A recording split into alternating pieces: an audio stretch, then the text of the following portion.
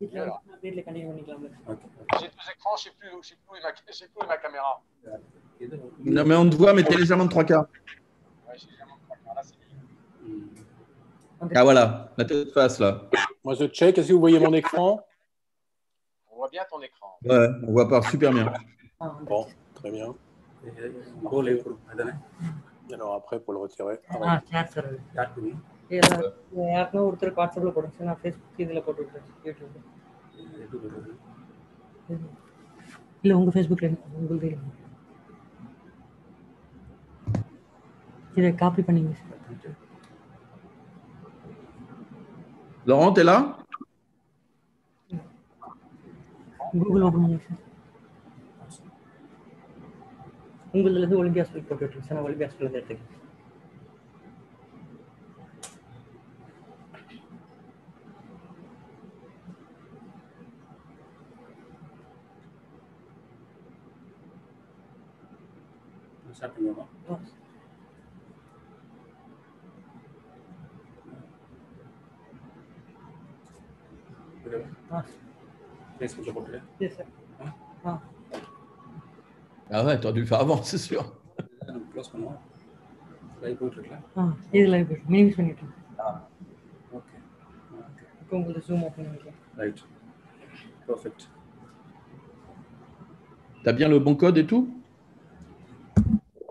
Il suffit que tu appuies. Normalement, il suffit que tu appuies sur. euh, sur que.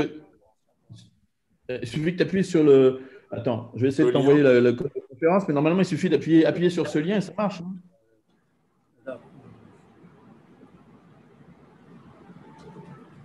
Attends, je retrouve le code. Ah bah alors, si tu les as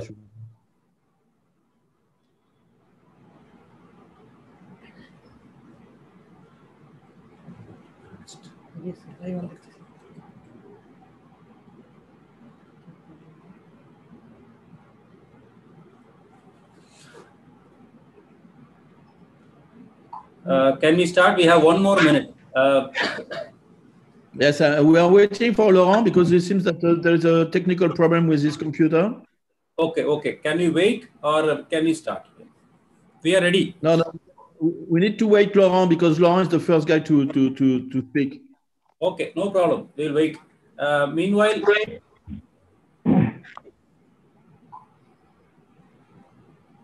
Hello, Vijay. Hello. Nice to see you. Thank you.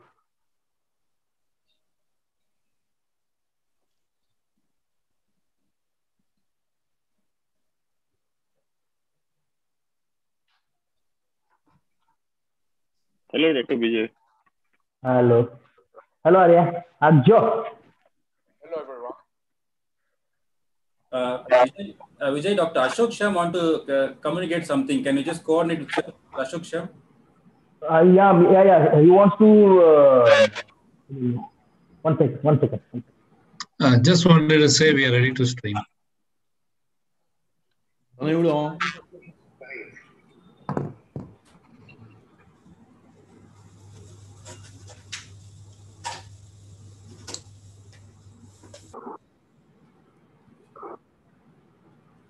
Uh, Dr. Patrick, Yes. I'll brief the program. Um, we'll start the meeting at uh, probably a few minutes time. Uh, we have our uh, the Orthopedic Association of South Indian States, uh, the president-elect Dr. Professor Dr. Selvaraj here. He will just say a few introductory words, and then directly we'll go to the first topic, anatomy. Yes, Followed yes. by- normally, normally, normally, t'es prêt, Laurent Attends, attends. Je, je rentre les trucs. Ouais, mais il fallait faire ça avant. Hein. Ah oui, je sais. uh, followed by the, uh, the uh, clinical diagnosis, arthroscopy, and current concept. We will go in the sequence. The first talk will be the anatomy of the distal radioulnar joint and the triangular fibrocartilage injuries, followed by the clinical diagnosis, and then imaging,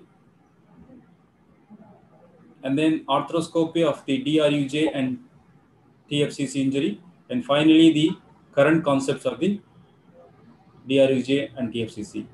Uh, the moderators today's session are Dr. Ajo from Kolkata. Uh, we also have Dr. Vijay, and we also have Dr. Ashok Shyam as a uh, panelist. We'll be joining few more panelists in the due course time. Uh, we will have question and answers at the end of the session. The panelists can uh, um, they can mediate and they can ask questions in term uh, for the delegates and they can respond to it. Even they can also have conversation if they have any questions. Uh, Dr. Patrick, we are ready. Uh, whenever you say, we can start. Yes, uh, just one minute. Laurent, t'attends. euh, Ouais. c'est, c'est, c'est, ça donne quoi là Je suis dessus là, je suis dessus là. Et t'es dessus sur quoi? Ça, veut dire quoi je suis dessus? Il y a marqué lancer la réunion, je suis. J'ai appuyé dessus.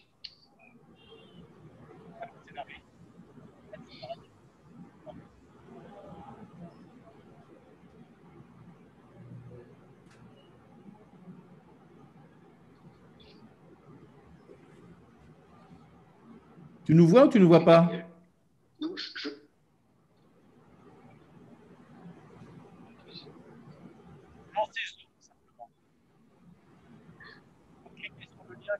Dr. Terrence, do you, do, do you, do you see uh, um, Laurent or not on, on? Because I don't see Laurent on the panel. Yeah, uh, I'm just waiting to. Uh, I could not see him also. Just waiting for him.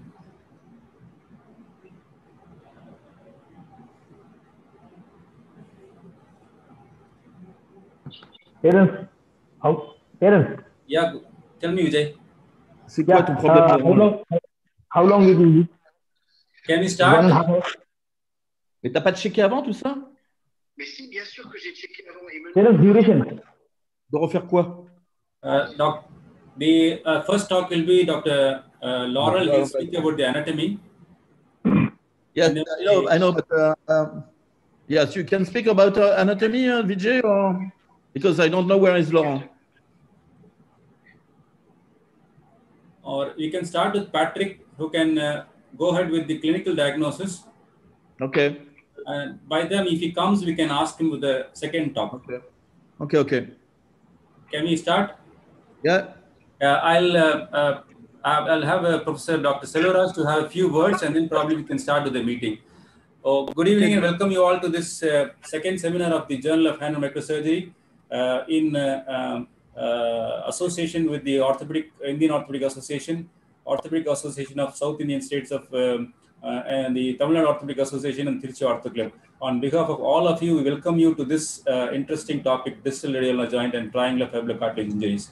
Uh, to begin with, uh, we uh, having uh. Professor Dr. Selvaraj, who is, you know, has accepted our invitation to be the panelist and also to give a few introductory words about this seminar, and then probably we'll go to Dr. Patrick to start the seminar.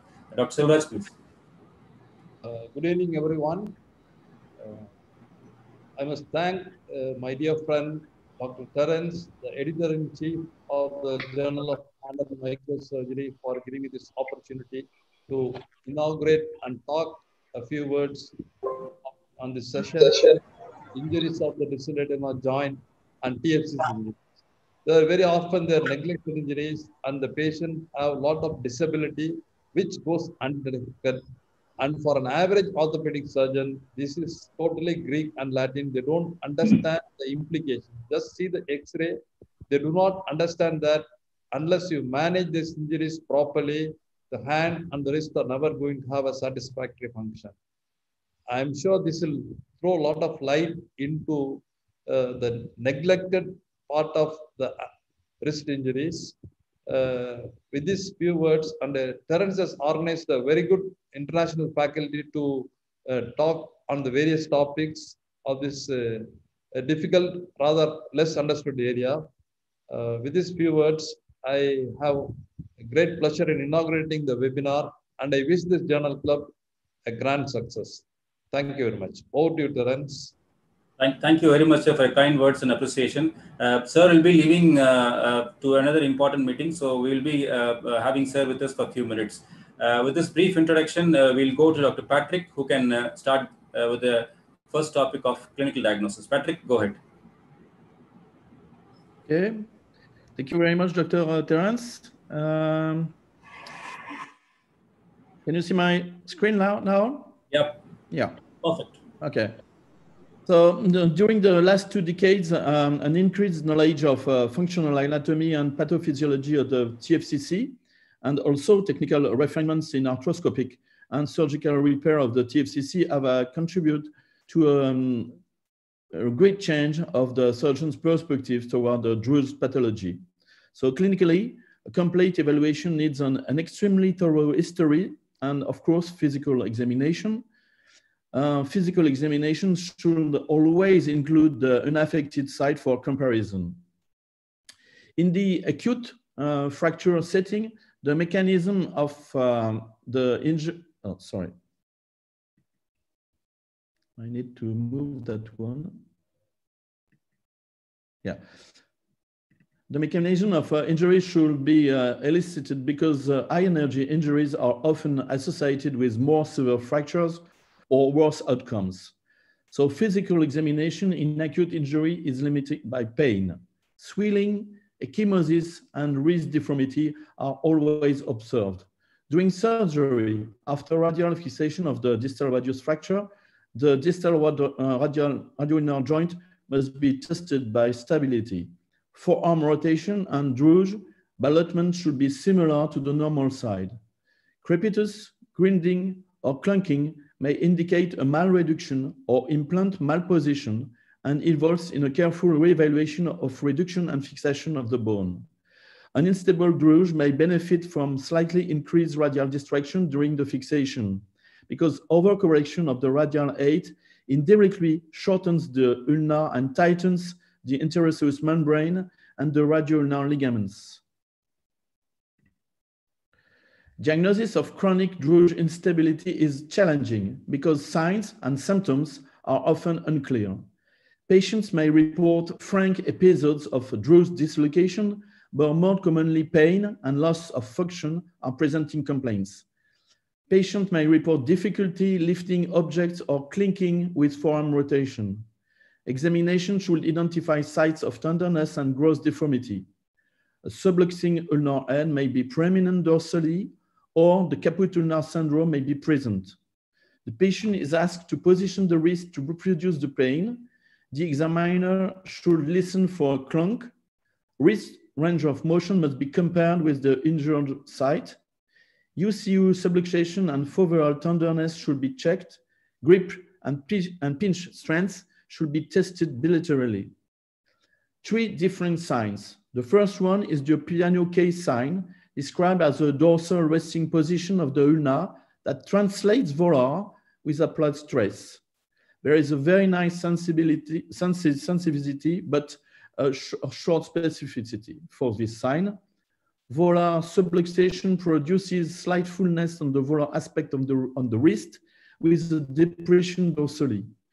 Subluxation is more subtle and difficult to detect than frank dislocation, and that is imperative to compare findings with the contralateral, suppose normal site, especially because normal laxity differs considerably among individuals. Point tenderness is common over the fovea, which is located between the styloid process and the FCU tendon.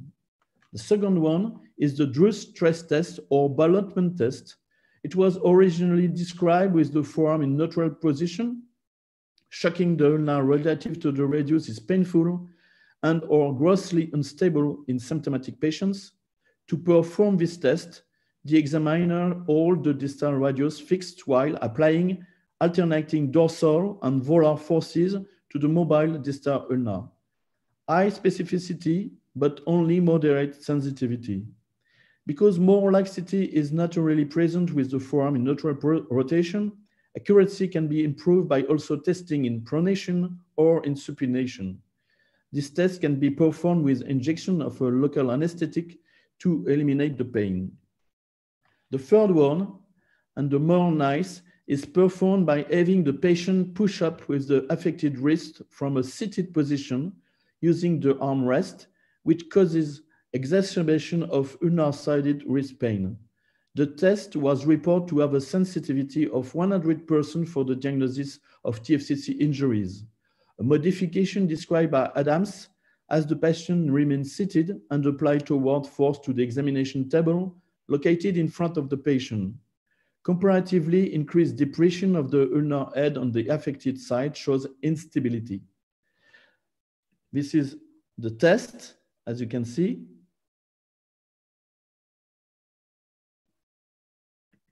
So now I'll give my um, speak to um, Frederick for imaging and the different possibilities.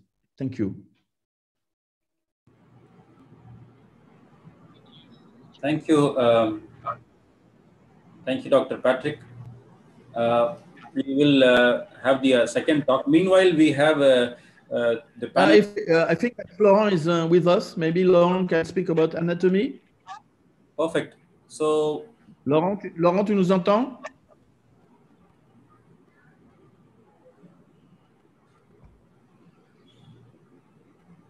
Non, Frédéric. so-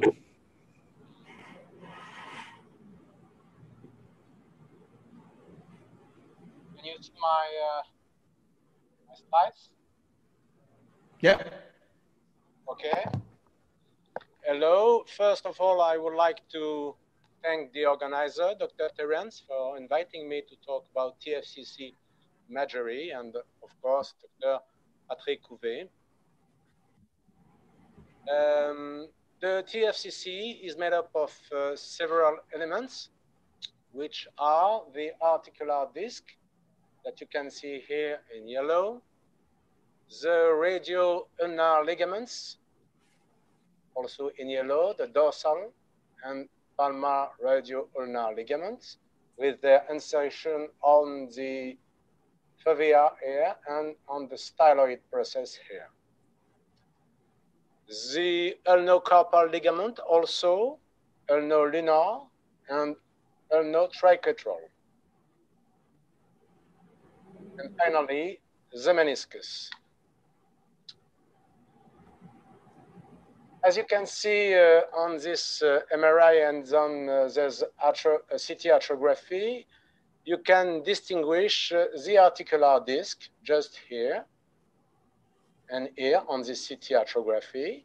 You can also distinguish the, the foveal insertion of the TFCC and its styloid insertion, and finally the meniscus here.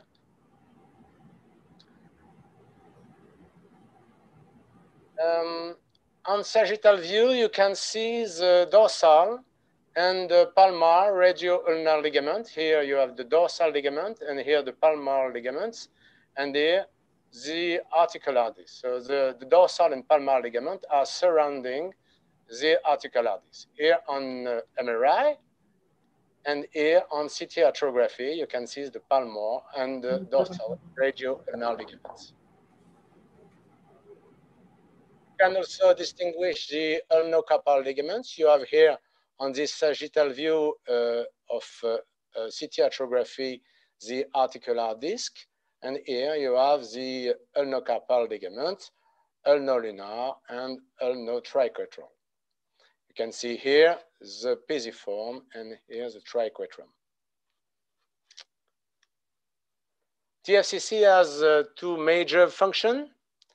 Um, First, uh, uh, it stabilizes the radio-ulnar joints via the radio-ulnar ligament and their foveal insertion, just here, in association with the ulnocarpal ligament, which also participate in joint stability. This is what we call the proximal component of the TFCC. Second, it participates in shock absorption to the ulnar side of the wrist via the articular disc, the styloid insertion of the TFCC, and the meniscus. This is what we call the distal component of the TFCC, just here. Depending on the structure involved in and its function, the management will be different. So damage to structures involved in stabilizing the wrists should be repaired as much as possible by surgery, while the structures involved in shock absorption will instead be subject to debridement. So there are two pathological contexts. First, a traumatic context where the movement involved is often an extension and pronation of the wrist, as you can see in certain sports like uh, tennis, golf, or fencing. And second, a degenerative context where the determin determining element is the presence of a positive ulnar variance, which will increase the stresses on the ulnar side of the wrist. We use the Palmer classification with two classes. Class one lesion corresponding to traumatic uh, lesion, for which the fourth stage classification has been refined by Atzei, depending on the anatomical site of the lesion, and class two lesion with, which correspond to degenerative lesion, also called ulnar impaction syndrome, with five stages of increasing severity. So let's start with uh, class one lesion, the traumatic injury. It may be a class 1E lesion, which only involve the articular disc, which uh, means a structure involved in the absorption of shocks and stresses and without stabilizer function. You can see on this uh, uh, CT arthrography a perforation of the articular disc here, just here, and on the contrary, respect of dorsal and palmar radio-ulnar ligaments. Class 1B lesion may involve the foveal insertion of the radio-ulnar ligaments or the styloid insertion of the TFCC, which are two structure different, belonging for the first one to the proximal component and for the second to the distal component of the TFCC. So they have two different functions and the treatment will be completely different. The lesion, of course, can also affect both components simultaneously. Here is, uh, you can see on these images, uh, a few lesions. You have a lesion of the styloid insertion of the TFCC here on this MRI. Here you have a lesion of the foveal insertion of the CT arthrography. And here on MRI, you have a, a lesion of uh, the foveal insertion of the TFCC. And here you have a complete lesion of the TFCC, a tear at the foveal insertion and at the styloid insertion. And you can notice also a perforation of the, the articular disc just here. Class 1C lesions are difficult to diagnose. They concern the ulnocarpal ligaments, ulno-lunar and ulnotriquetral, which this ligament participates in stability of the distal radioulnar joints. You can see here an example on this MRI. It's an arthro MRI with uh, a tear at the insertion uh, of the ulnar-lunate ligament just here on this frontal view and here on this sagittal view diagnose this lesion are very difficult. Class 1D lesion involves the radial insertion of the TFCC, as you can see here on this frontal view and on this axial view. On this uh, class 1D lesion, the distinction must, must be made between isolated lesion of the articular disc, which don't have a stabilizing function, and lesions which extend to the palmar or dorsal radio-ulnar ligament, or both of them, and which compromise joint stability. And again, there are two different function structure and two different treatments. You can see a few lesions here. You have a 1D uh, lesion here with uh, radial tear at the uh, uh, tear at the radial insertion of the, the articular disc here on this central image. Uh, and on the contrary, the dorsal radio-ulnar ligament and the palmar radio-ulnar ligament are completely respected. Here also a 1D, uh, class 1D lesion. You can see on this image is a perforation of the articular disc here, just here. And you can see that the lesion extends to the dorsal radio-ulnar ligament on this frontal view. And just here, you can see that the lesion extends to uh, the radio, uh, the dorsal radio-ulnar ligament. So uh, here is a, a, summary of class one traumatic injury where the classification is based on the anatomical location of the injury. In class 1B and 1D lesion, it is very necessary to know whether the lesion can compromise the stability of the wrists. In class 1B lesion, it is very important to know whether the lesion uh, concern the foveal insertion of the TFCC. And in class 1D lesion, it is very important to know if the lesion is limited to the articular disc or if it extends to the distal radioulnar ligament, here dorsal ligament and here palmar ligaments. We can continue with uh, class two, degenerative lesion also called ulnar impaction syndrome. They are favored by positive ulnar variants and progress in five stages of increasing severity. So first class 2A lesion, it's just a thinning of the articular disc. In class 2B lesion, there is appearance of ulnar or lunar chondropathy Class 2C lesion, there is a disc perforation. Class 2D lesion, you have a perforation or tear on the lunotriquetral ligament, as you can see here. And class 2E, there is a radiocarpal or radioulnar distal osteoarthritis. Uh, there, you can see a few lesions. Uh, on the left side, you have a class 2C lesion with the perforation of the articular disc. And you can see also uh, chondropathy of the, on the ulnar head, just here. Here you have a class 2D lesion with the perforation of the articular disc, a tear of the lunotriquetral ligaments, chondropathy here on the ulnar head, and chondropathy on.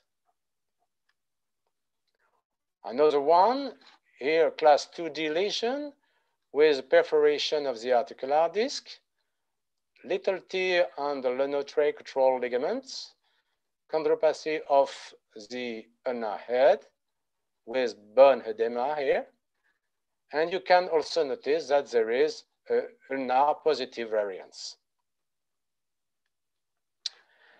The radiological assessments always include radiographic images with a frontal view in pronation and may include, depending on the case, a CT arthrography or MR arthrography or just MRI. We will look first for positive ulnar variants. If the lesion concerns radial insertion, it is necessary to specify whether it also concerns the ligaments or if it only affects the disc, it's important. And if it's on the ulnar side, does it concern the proximal or the distal component or both, or both of them? Of course, it will be necessary to evaluate the articular, the articular cartilages. You may know that uh, there are some pitfalls. In particular, uh, the ulnar pre-styloid recess. It's a little recess between uh, the, um, the, the styloid insertion of the TFCC and uh, the meniscus, a little recess here. And you can see on MRI this recess as a hyper signal. The second pitfall is uh, a hyper signal that you can see sometime uh, between the two bundle of the TFCC, uh, uh, two bundle uh, on the foveal insertion of the TFCC, the foveal insertion and the styloid insertion. Uh, this hyper, signal corresponding to uh, ligaments, which is called the ligamentum subcruentum. We can also observe a hyper signal at the radial insertion of the articular disc, class like here, related to presence of hyaline cartilage, which should not be confused with perforation, as you can see on this CT arthrography. It's a perforation and it's only cartilage. Finally, it should be remembered that the TFCC anomaly is not always symptomatic and that it's necessary to always opacify the three major compartments of the wrists in CT arthrography or uh, MR arthrography because there are lesions isolated from only one of the two proximal or distal components of the ulnar incision of the TFCC. And you can see them if you only inject one compartment, only one compartment. Thank you for your attention. And uh, now, uh, uh, Dr. Didier Fontes will uh, talk you about arthroscopy, I think. Thank you very much. Thank you, thank you, Dr. Zeitoun, and the previous uh, uh, about the topic. can we go ahead to the anatomy if Dr. Laurent is there? I mean, can we start? Oh, no, no, no, no, don't know where, I don't know where is Laurent. I think he do have a problem with his uh, uh, Wi-Fi um, network, and um, that's what that's what he exactly told because he's not in Paris but uh, outside Paris, and uh, he tried to find another place to uh, get a better um, network. Est-ce que tu sais si, si Laurent est dans la clinique par hasard Non, il n'est pas dans la clinique, il est à Cahors, donc c'est un peu loin. Okay, we'll go with, with the other topic. The, uh, uh, by Dr. Didier Fontes. Please go ahead. Okay, thank you very much for this kind invitation of, so for this uh, worldwide webinar. So we'll speak about the interest of arthroscopy in, in the DRUJ pathology. First of all, as described by, by Frederic Zeitoun, there is two main uh, roles for this TFCC. First, it is a shock absorber. And as soon as you can experience a fall down on the outstretched hand, you can have a central lesion, essentially central lesion of the TFC. But sometimes in over twist trauma, you can experience some peripheral lesion because the TFC is a main stabilizer of the IOJ. So it's a two main way to observe traumatic lesion of this ligament. As described by Frederick, Andrew Palmer as described in 1989 the first description for these traumatic lesions. But the 1B and 1D lesion, as described too by Zeitoun, have been updated.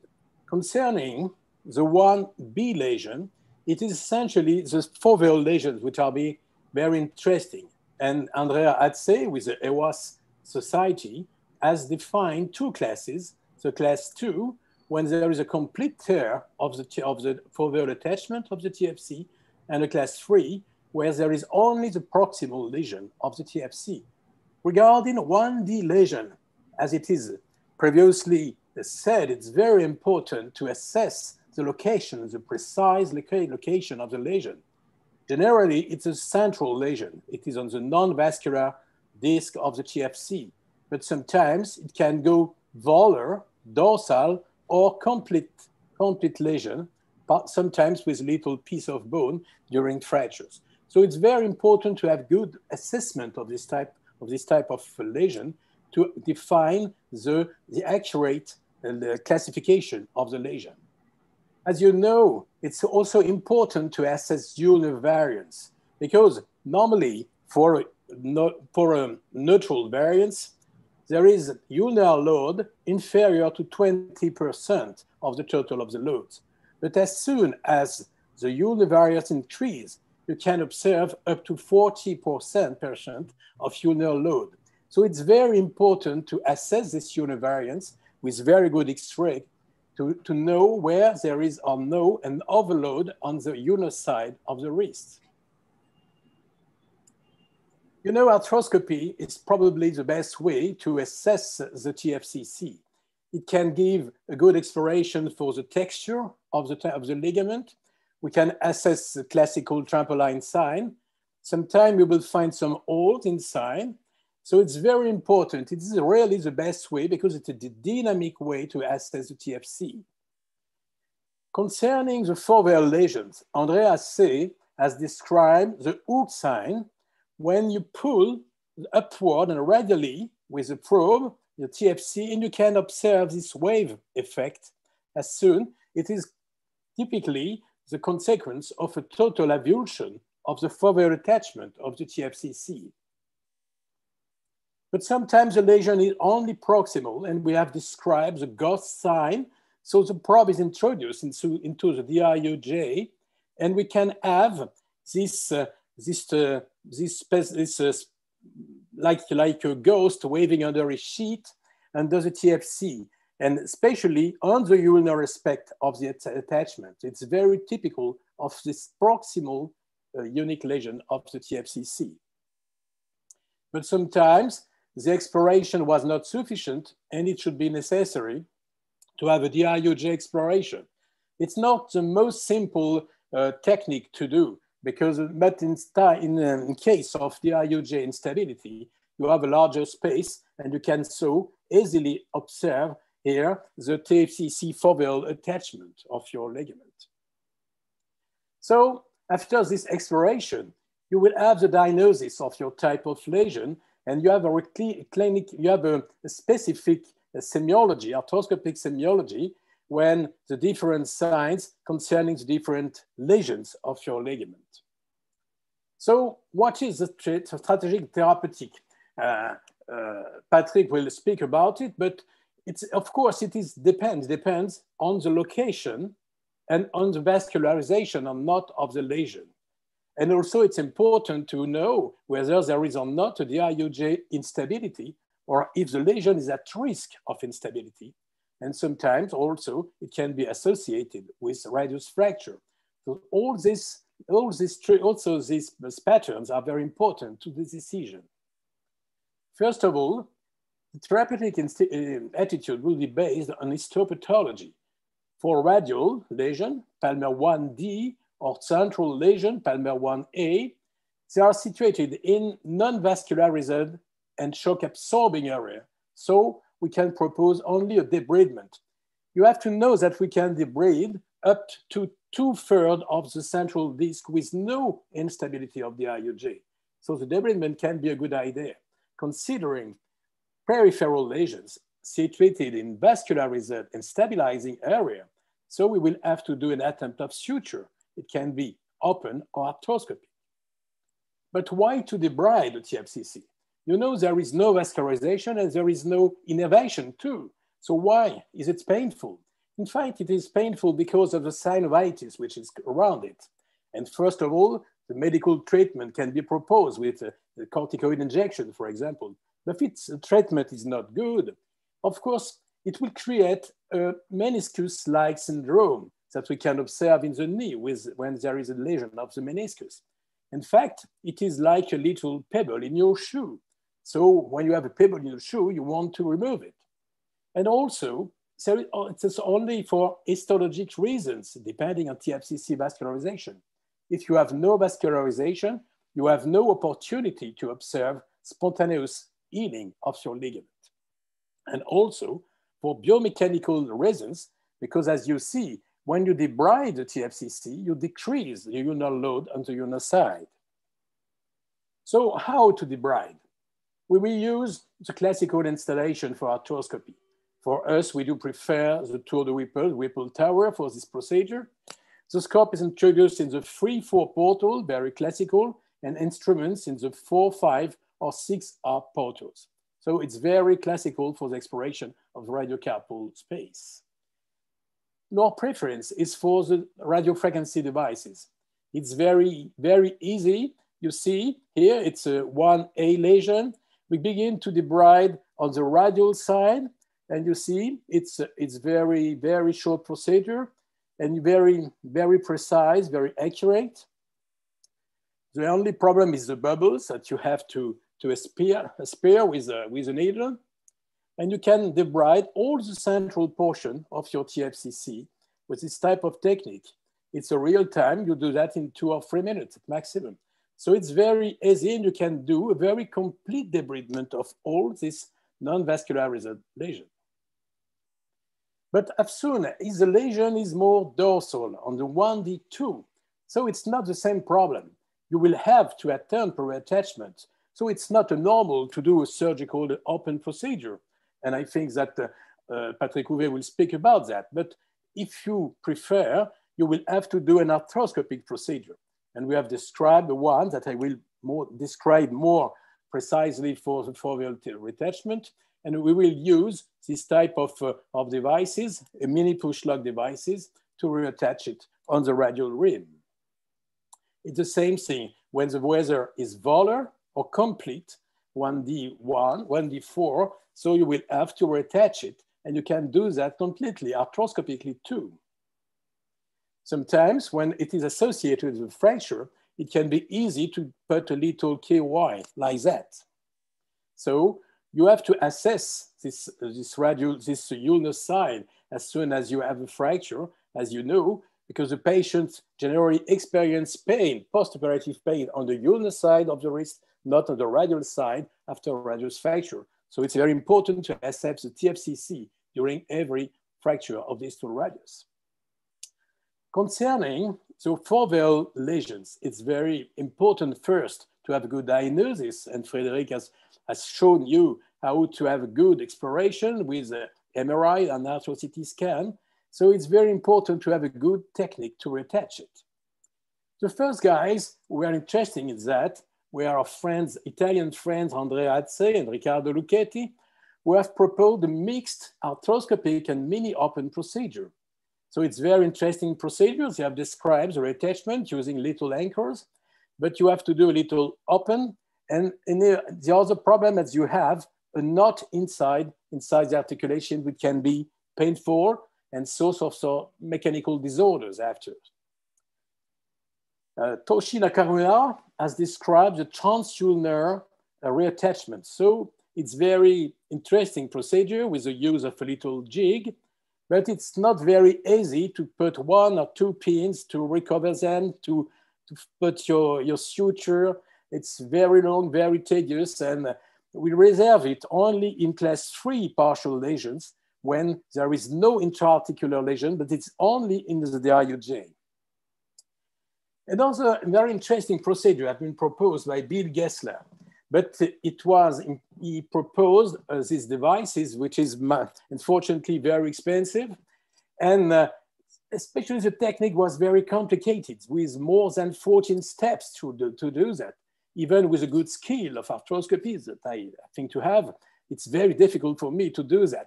You have three portals, you have to recover your, your suture, it's very complicated. So it, it was really too complicated and too expensive for me. So it's for that I have described more simple techniques using this type of device, this type of mini push locks from Arthrex company, and with a needle and a fiber wire. So it's very simple and not so expensive. First of all, is to introduce your sutures, your fiber wire inside your needle. It seems easy, but it's not so easy. So it's important to do that. You put your good suture inside it, and then you will use your, your push lock. First, you will have to debride the foveal lesion because it's very rare to have an acute lesion to treat immediately. So it's more chronic. So there is bad tissue, synovial tissue, you have to remove it to expose all, the, all your fovea, and you will see here complete avulsion of your TFCC with the use of little shaver, full radius shavers. After, you will assess the fovea and you can to debride it with a little burr, like we can see here. So you, you have good view of your foveal only from the free four portal, and you can completely assess the basis of the styloid at the, as a, the attachment for the attachment of the foveal aspect. Then you will have to do a little hole to prepare the introduction of the introduction of your of your anchor. I do prefer this little hole. It gives more less debris than the, like the, this uh, type of drill. And you do, your assistant will do, you have to only to be very precise for the orientation of, your hole. And then you can assess it with a little probe to be sure there is no, uh, no fracture, it is complete, very good. And you can control it with an X-ray control.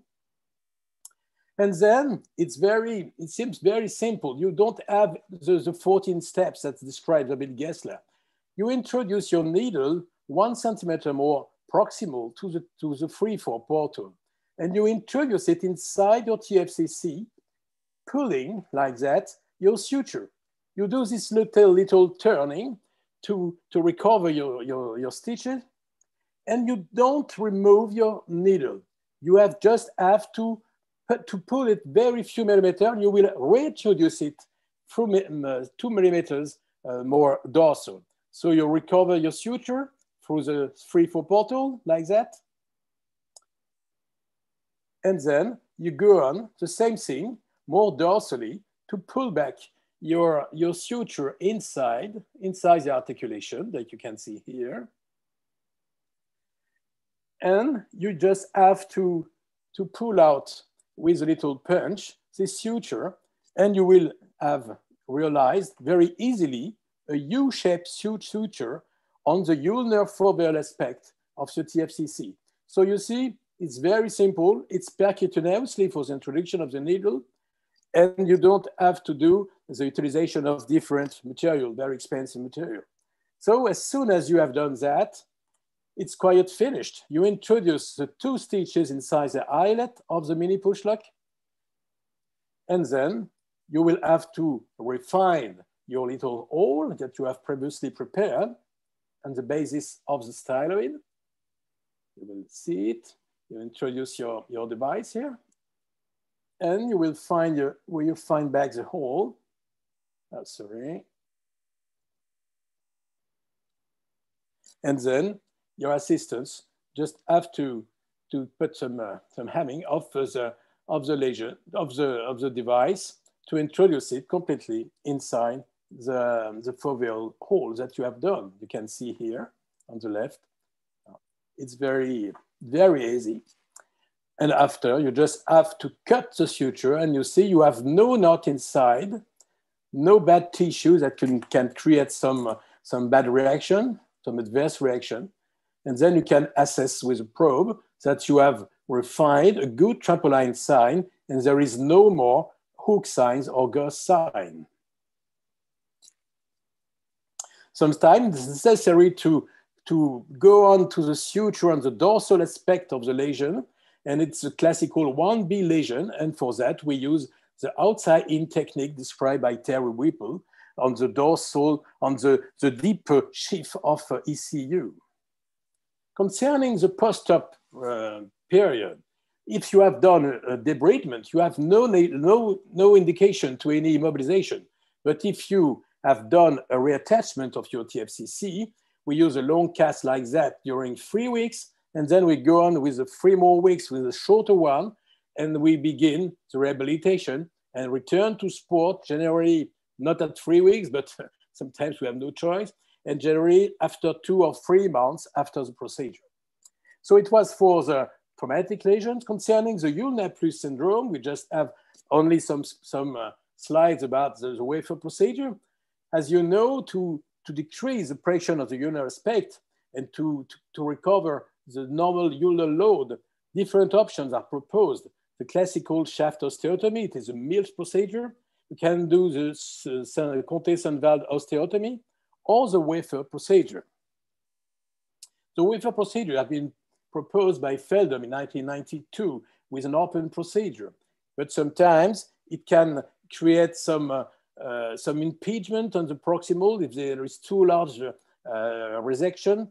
And it's frequent to observe DRUJ uh, arthritis. So this technique was not very, very popular because of that. So it's for that with different uh, uh, surgeons, we have described the arthroscopic way to do this wafer procedure. And we, we use for that classical installation. We have control with a mini fluoroscan, classical portals, three, four for the scope, four, five, or six are for the instruments, and six U for the, the outflow. First time is diagnosis. As, a, as you have seen on the X-ray, there is an extent of different type of lesions, chondromalacia, lesion of lunotriquetral ligament, TFCC lesions. So it's the best way to assess all that, to do that with your arthroscopy. And then you will have to do the debridement. And as we do for traumatic lesion, with the bride, we realize a synovectomy with the, the mini shaver and, the, and this type of uh, radiofrequency devices. And then you will have to do a mini acromioplasty of uh, the bombing uh, aspect of uh, the ulnar head. And it's very important to ask your assistant to, to, to turn in full supination and full pronation, not to let any beak on the, on, the, on the distal extremity of the ulnar after your procedure. So you can reduce so that the bombing aspect of the ulnar head. You can control that with a scope after, with an arthroscopy, with a, with a fluoroscan. And then it's very simple to have a good rehabilitation of two or three weeks after the sur surgery and return to sports generally to three or three months like the previous procedures. So concerning the results of this uh, wafer arthroscopic procedure, it uh, experiences lower complication rate and quicker recoveries than ulnar surgical osteotomy. And we observe generally an improvement of grip strength, arc of motion, and clinical scores. But you will have some to wait more than five or six months to have the definitive results. So it's sometimes rather long and you have to explain that to your patient. In conclusion, arthroscopy for us is the best way to assess TFCC lesion. Our old technique, all inside, not less arthroscopic procedures seems to be reproducible for peripheral lesion, accurate and reliable results with a short learning curve. Concerning debridement and wafer, they are very simple techniques and rewarding procedures. For us, arthroscopy is undoubtedly for the gold standard. Thank you very much. Thank you, Dr. Didier, for your wonderful talk. Uh, it's really amazing to have the entire team from, uh, you know, uh, to speak on this interesting DRUJ and TFCC talk. Uh, in the meanwhile, the next speaker is Dr. Patrick Houvet. Uh, let him uh, have his presentations uh, uh, ready. we actually avoided the introduction of all the speakers just in sake to save the time. we have sent the Zoom link with all our speakers short brief CV that they can know by itself. And these uh, French surgeons are very simple and uh, you know humble. They just want to tell their name and their uh, you know uh, work and their schedule. So they're so humble and they're helpful to us you know in having this webinar. Uh, we uh, have a few panelists also here and a few questions are also in the q&a sections which we can take after the final talk from dr patrick. Dr patrick you can go ahead with your talk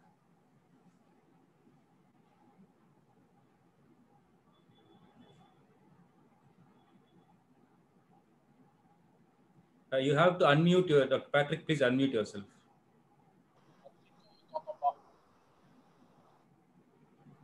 Is it better now? Yeah, perfect. Go ahead.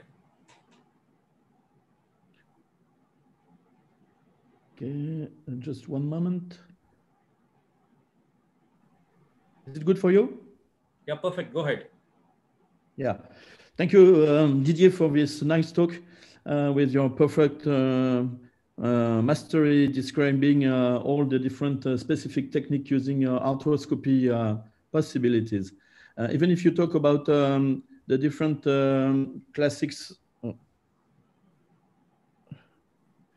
um, possibilities, I'd like to um, to describe you the um, the, um, the, the the current treatment protocol for um, all these uh, different um, injuries of the distal uh, joint. Um, so kinetic uh, dysfunction of the distal uh, joint are, as you know, uh, multifactorial and may be caused by a variety of pathologies. Uh, the spectrum of uh, clinical condition that may cause this dysfunction is so wide that no classification can be comprehensive enough to include all of them. Uh, Nakamura distinguished between uh, acute, that means uh, less than six months, or chronic instabilities more than six months, but many authors do not consider this definition as relevant for a treatment strategy.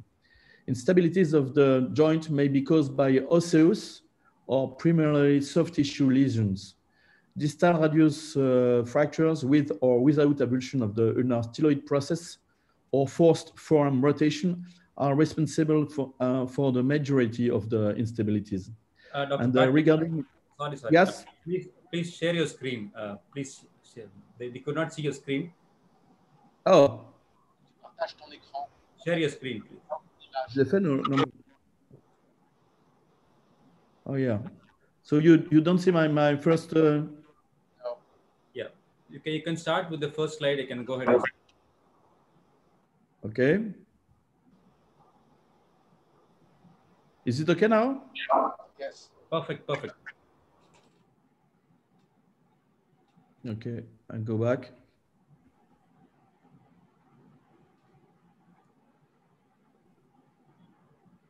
Did you see the first uh, diapo or not? Uh, we, we are seeing a slide. Did you see, now you see all the slides? No. No, we cannot see it. Why that? C'est très flou et t'as pas fait l'écran total. Voilà. Yeah, it's, it's, it's getting better now. C'est flou là aussi? Is it okay now? Uh, it's it's better now. Uh, it's still unclear. Why? uh, I know. At the beginning, I try, I put something with the video. Is it the the the, the reason? Uh, you can start. I don't, I don't know. I don't know to change the. You can close. You can you can start from the first if you want. Is it better now? Yeah, it's better. Better. It is better. Is it better now? Yeah, perfect. Okay, great. So as I told, instabilities of the joint may be caused by osseous or, or soft uh, tissue lesions, uh, distal radius fractures with or without uh, avulsion of the styloid um, are um, responsible for the majority of the joint instabilities.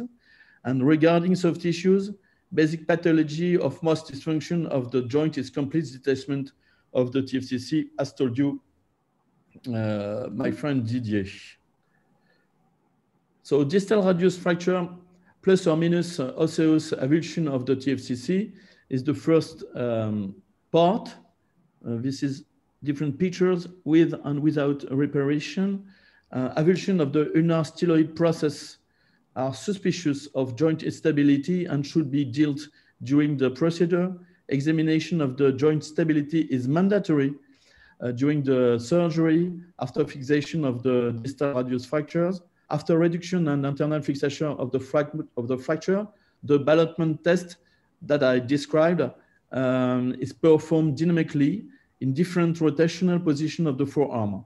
Refixation of the ulnar styloid is mandatory in case of instability.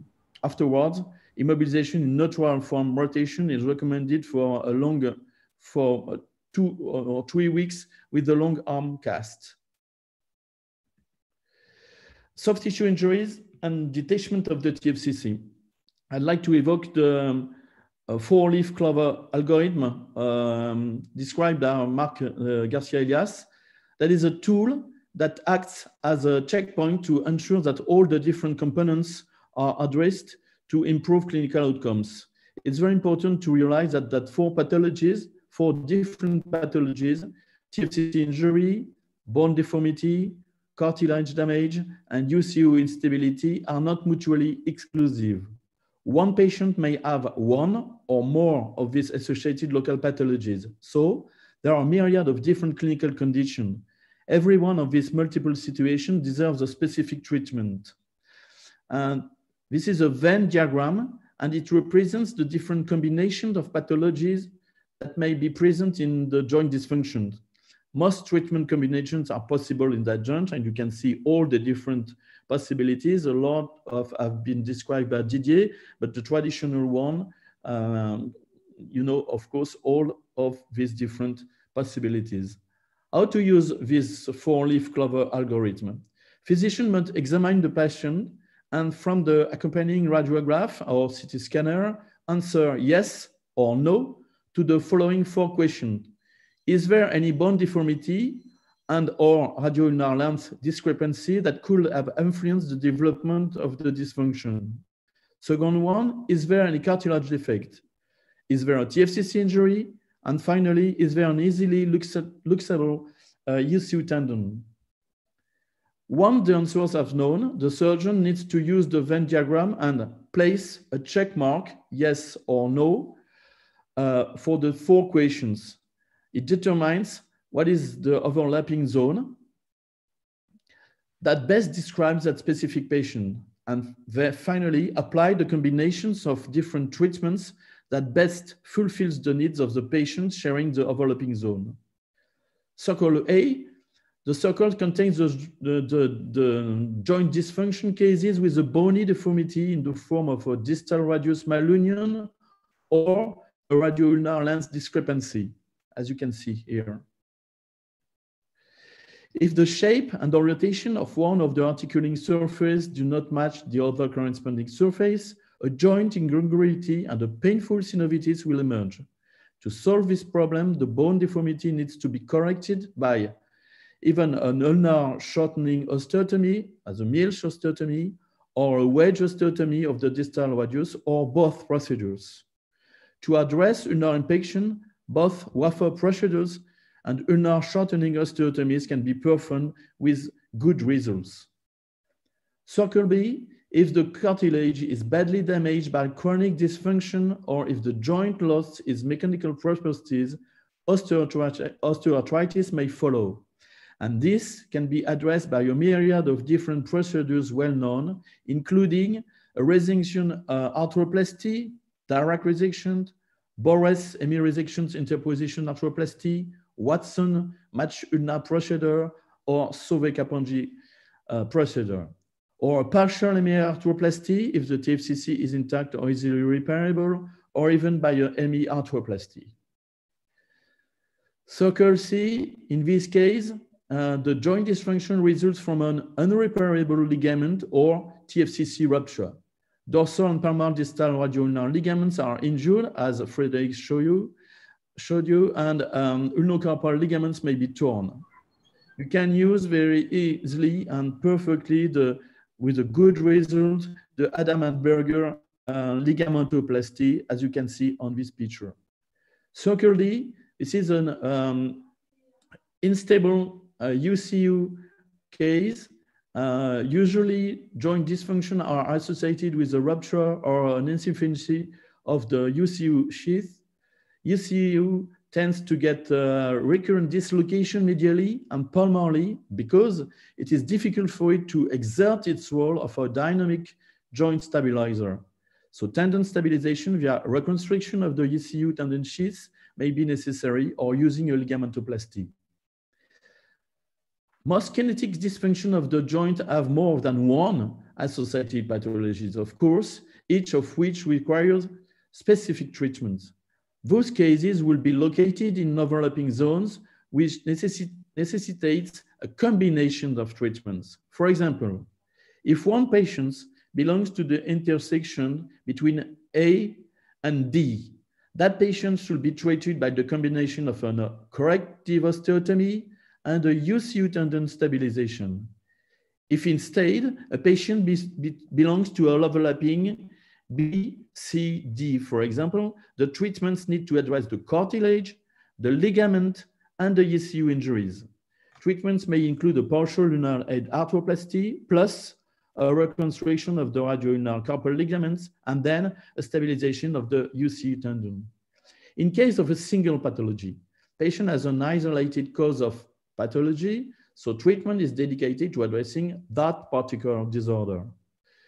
If the DRUJ is unstable because of a distal radial malunion, a corrective osteotomy should be performed first. And normally, the joint becomes fully stable once the malalignment has been addressed. Isolated cartilage defects of the ulnar head or sigmoid notch are not rare and can be treated with a myriad of procedures, including distal ulnar, distal ulnar excision or Raynaud-Watson, or uh, arthrodesis with distal ulnar osteotomy, that is the Sauvé-Kapandji procedure, or even prosthetic arthroplasty. If the patient has an isolated symptomatic TFCC injury, this will need to be repaired or reconstructed. The classification proposed by Atzei and described by Didier and uh, Frederick is helpful in guiding treatment because it considers the reparative potential of the TFCC, the stage of the cartilage, the state of the cartilage, and the stability of the DRUJ. If the patients present with symptomatic ECU subluxation, even dislocation, treatment uh, will be focused on a local capsuloplasty or retinoauricular sling reconstruction by a ligamentoplasty. In case of dual pathology, when the patient um, has two, um, um, when two different circles of the Venn diagram are affected, uh, the algorithm is based on the assumption that the treatment of uh, an associated pathology is the same. So if the DRUJ instability occurs in the setting of a, a distal radial fracture, attention must be paid to anatomic fixation to the fracture, including the sigmoid notch. If a distal fracture of the radius has resulted in a, a joint instability with an irreparable TFCC, this can be addressed by combining a corrective osteotomy with a tendon reconstruction of the two radioulnar ligaments. If the distal radius is deformed and the joint has, develop, has developed osteoarthritis, this can be addressed by combining a corrective osteotomy and a partial hemiarthroplasty of the joint. Finally, if a patient presents a symptomatic distal radius malunion with ECU subluxation, this can be addressed in a single operation with a distal radial correction, uh, corrective osteotomy and the ECU sheath reconstruction. If you have three or four pathologies using the four-leaf cliff, uh, four, four-leaf clover algorithm, one identifies all the pathologies coexisting in the same wrist and tries to treat all of them as they were isolated injuries. But despite this, it's important to recognize that in trying to address all the pathologies, the surgeon must perform an operation that can rapidly address the patient's symptom with a definite procedure. So as such, in certain circumstances, we can perform with a one salvage procedure. So in conclusion, that algorithm is not a document forcing the surgeon to adopt one particular treatment, but all the different, the, that classical uh, treatment and well-known treatment can be um, uh, used. It purposes uh, to provide the treating physician with a checklist that helps to ensure that uh, one does not miss any of the different components that need to be addressed for a complete and um, perfect treatment. And it's a matter of addressing every component as it were an isolated injury with the aim to solve finally all the components. For conclusion, because of its, uh, its osseous geometry, um, the, the distal joint is an unstable joint. The soft tissues surrounding this joint must, contrib must contribute significantly to joint stability. So um, a proper understanding of uh, that complex anatomy and function of the distal radioulnar joint is essential for the treating clinician. Chronic instability of the joint continues to challenge orthopedic surgeons. And finally, the definitive surgical treatment of this instability or these instabilities remains controversial. Thank you. Thank you, Dr. Patrick, for your you know excellent uh, brief uh, discussion about the very important and you know, less uh, known uh, about the DRUJ and TFCC injury. Uh, so we can have questions uh, so that the panelists can start the questions and then they can mediate to the speakers. Yeah, uh, Terence. Hello. Go ahead. Go ahead. Yeah, Terence. I, I have one question to all panelists in chronic wrist uh, pain, which is the choice of uh, investigation apart from X-ray, whether it is the MR, the a CT arthrogram, or is a MR arthrogram, which uh, which is the preferable uh, mode of investigation, individual preferred. For me, Maybe Frederick. I, I, I All, all, for all, for all, individual. Uh, uh, uh, I, pr- I, I answered on the on the chat. I prefer CT arthrography because I think it's better. The the, the slides are more thin, and uh, I prefer uh, CT arthrography than uh, MR arthrography. That is uh, very complicated, uh, and uh, I think it's better that MR MRI. Personally, I, I, I will ask for um, classic and standard X-rays, of course, uh, and and CT arthroscanner too. Yes, because uh, depending of the depending on the on the quality, of course, of the uh, exam, but if you have a very uh, good uh, radiologist, you, you you will perfectly see the, the lesion because uh, you know the different frames are um, each millimeters, so the the, the, the, precision is is um, uh, very uh, very interesting. For me, the same thing. First of all, is a plain X-rays to assess the ulnar variance. As you have seen, it's very important for the decision. And secondary, if you suspect any lesion of the TFC or to assess the cartilage, I do prefer arthro CT scan. I know it's not very popular in other countries rather than France, but uh, because there is, of course, an irra- an irra- irradiation consequence of the CT scan, but it gives for us very thin, uh, very thin exploration and very nice explorations. But MRI can be helpful too in ulnar plus syndrome because we can, we can assess also the, all the ulnar plus lesions uh, with the different uh, variants in T2 sequences, and so it's very interesting too. But for us, arthro CT scan is probably the best exam. Yes, and for and for me too. Thank We, we can see we can see the, the cartilage is uh, better than uh, with MRI. Yeah. Can you, can you get can you get easily um, arthro CT scanner or Vijay in India? Yeah, yeah, I, I, I do arthro CT scan only. That's why I asked the question. In India, I use arthro CT only. You, you prefer you prefer also arthro CT scan? Yes, yes, yes. I do arthro CT scan. That's why I, ca- I asked the question. because you told that it is not uh, popular in uh, rest of the world, but uh, I in India I do the CT arthrogram only. Hmm. Uh, we have If it is not, then I will go for MRI for soft tissue. But for uh, joint and uh, ligament injury, cartilage injury, I prefer uh, CT arthrogram. Okay. Well said, Vijay. Uh, Vijay is uh, motivating many of the young surgeons in uh, India to do uh, CT arthrography, and I'm also started doing CT arthrography for all these injuries, and it's really very helpful and useful. Uh, the other question is from to Dr. Fontes. Um, what technique do you use with intact peripheral TFCC injury and uh, pure foveal detachment? Uh, this is a question from Philip Matthew. I'll repeat the question.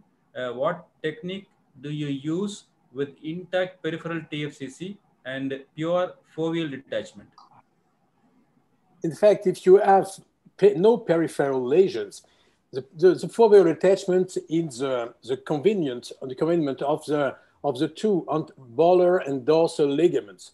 Oh, so if there is no tear of these ligaments, it's that the lesion is only on the central, central portion of the TFCC. So in these cases, it's only necessary to do a debridement if you do something. But if the lesion goes to the attachment of the ligaments, because the foveal attachment is the attachment of the ligaments, the volar and dorsal, and if there is a lesion at this, at this uh, area, so it should be necessary to retach it. Thank you. I hope you understand. You, you answered the question. Uh, other question from uh, Augusto from Italy. Uh, he said, uh, when I see a patient with suspicion of uh, TFCC lesion, is it better to request a normal MRI or a MRI with a contrast? The question from uh, Agostino from Italy to the panelist.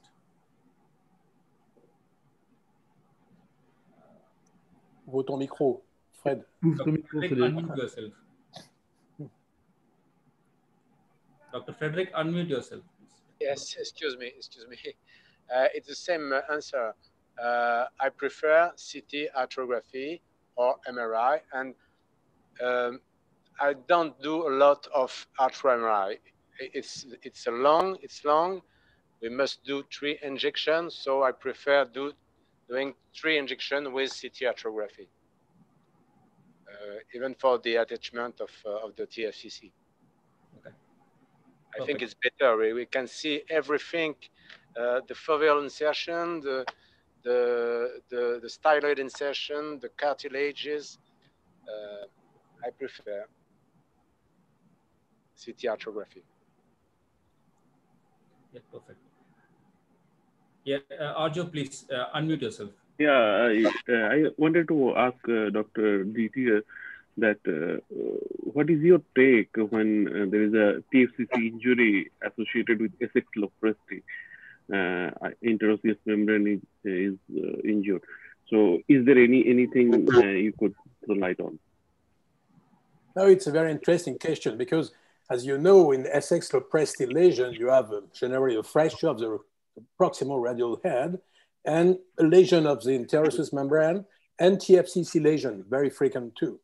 So in my experience, when I have a Mason one or two fracture of the radial head, I do arthroscopy reduction of the fracture with a little, and I, and synthesis with a little screw. So I do that with arthroscopy. And at the same time, if the patient experience any pain on the wrist, and if you during the exam, you will find some instability, I do also an assessment with an arthroscopy of the, of the wrist. And sometimes I had these cases a few weeks ago. I had to reattach a TFC for a foveal lesion because it's more frequently uh, peripheral lesions rather than central lesions. And it's very interesting to, to assess systematically the wrist and specifically the TFCC when you have any fracture of the radial head. Very good question. Yeah, very good. Uh, can I have the other question for, for to the panelists? Uh, this question is from uh, Dr. Uma Shankar Raju. Very common questions from all orthopedic surgeons across the world. Uh, in a Galeazzi type of fractures with the distal radioulnar joint subluxed, uh, when we fix the distal radius, uh, if you find the DRUJ is still subluxating or not reduced, uh, we need to put a Kirschner wire and how long we should put, how long we should immobilize and in what position. Uh, this is a common question. Probably all the panelists can go ahead with the opinion. That's right. Right. Well, personally, when I have to treat a Galeazzi fracture, and if there is an instability of the distal joint, uh, I use a K-wire, of course, and I fix the, the, the joint in uh, supination. But supination is not always the, the, the, good position. So if the rejection is good and with no instability is a neutral position, I really do prefer to fix it in a neutral position. But normally it's in supination, of course. And I For don't me, open the, the, sorry? For me, my And because during Galeazzi fracture, if you have a DRUJ instability, it's because you have ligament lesion. So as soon as you have reduced and fixed your, uh, your radius, you, I, I do the assessment of the, of the, the wrist with an arthroscopy too, and I reattach the TFC because generally it is a peripheral lesion of the TFC. And after the reattachment, the arthroscopic reattachment, the stability seems for me sufficient. I don't use any complementary K-wire, but if it's, I think that the stability is not so, so satisfying, so I put the pinning too. But first, I treat the lesion as we treat the fracture associated. There's one point, uh, if I can make, sorry, I'm, Vijay from UK.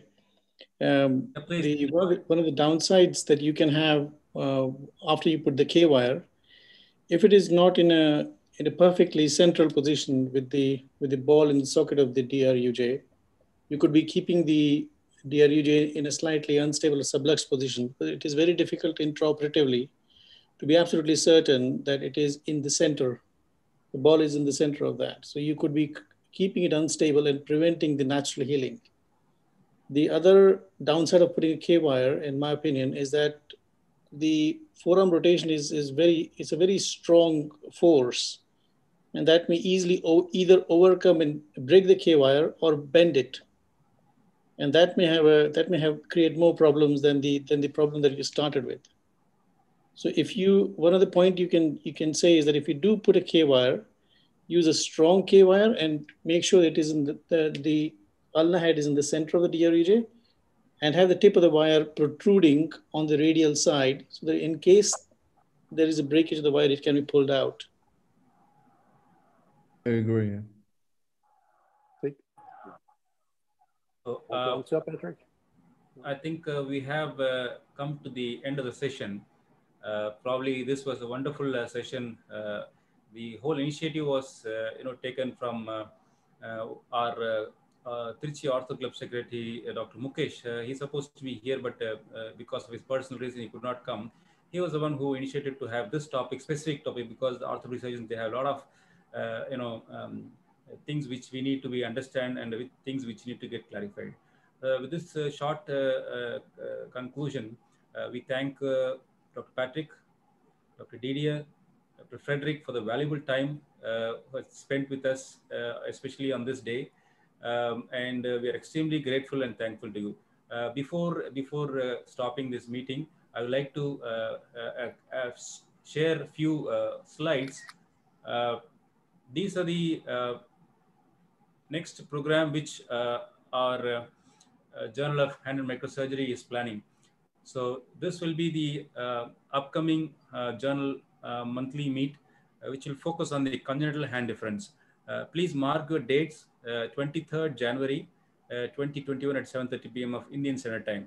Uh, we'll be sending you the flyers and we'll be sending you all the details. so meanwhile, um, thank you all, one and all, the panelists, the speakers. Uh, have a great day. Good night. We will see you in another platform with a different topic. Thank you very much. Thank you. Merci à tous. Thank you. Au revoir. Thank you. Thank you.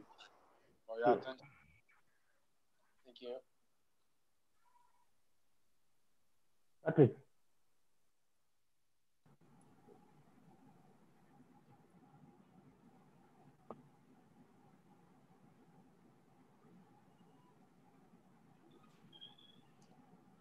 Thank you, Arju. Thank you, uh, Harshil. Harshil, sorry, I couldn't get you into the platform uh, on time. Sorry, we will have some other time. Don't worry. And Dr. Uh, Ashok, uh, thank you for joining us. We'll be uh, privileged to have you here. Will we keep continuing working together for a subsequent uh, journal meet in the future? Thank you. Thank you. Bye. Thank you. Vijay for organizing. Bye. Vijay is the one who started the, uh, you know, uh, getting all the surgeons into us. So mm, we should uh, thank a big thank you. thank you, Vijay sir. Thank you. Thank you very much. Good night. Safe. Uh, uh, safe. Thank you all. Good night. Bye bye.